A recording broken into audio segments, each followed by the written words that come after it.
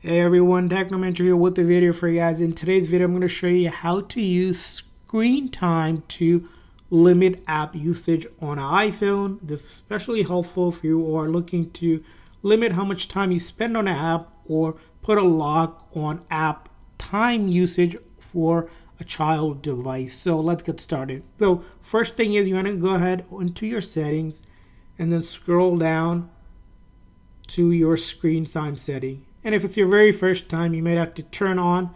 Now, once you turn it on, you're going to go to limit usage for app and website activities. We're going to tap on that. And right here, you can see here, get insight of your screen time and set limit to how you want to manage certain apps. So we're going to go ahead and turn that on.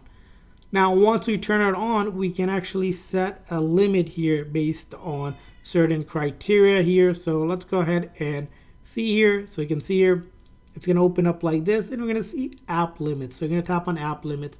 And then here we're going to go ahead and add a limit. Keep in mind limits reset every day at midnight. So we're going to go ahead and tap on it. Now there's a couple options to do this. So you can select certain types of apps in categories. So let's say you wanted specific category of apps, right? Like a social media, for example.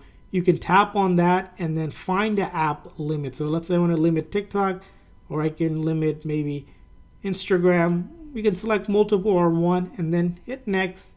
And then you can set a time. So you can say maybe one hour, two hour, whatever your limit is. You can do hours and minutes. You can also customize days. So you can see here, you can select the days. And then once you're ready, we're going to do one hour every day. We're going to hit add. And now we have added a limit for Instagram and TikTok. Now, the final important thing here on all this is going back here is in the screen time here, you want to set a passcode or a lock so that when that limit hits, they're not able to continue more without this passcode. So here it says tur lock screen time setting. So you can use a passcode for this. Of course, make this different than maybe the phone's passcode.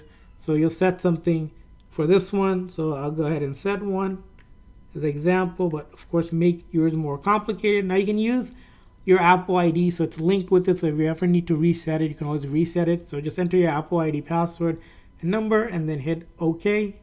So you need to just set that up here. I'm not setting it up, but essentially once you set that up, right, what's going to happen is whenever you hit a limit, it's going to stop that session and you won't be able to continue unless you add that uh, put that screen time password to turn it off. And if you ever wanted to turn off the limit, you can come back here and then delete the limit. But as you can see, it's going to ask for that passcode that we set. So that's how you do it. I hope this video was helpful. If so, please consider the like and subscribe button for more tips and tricks for your iPhone. We'll see you guys next time.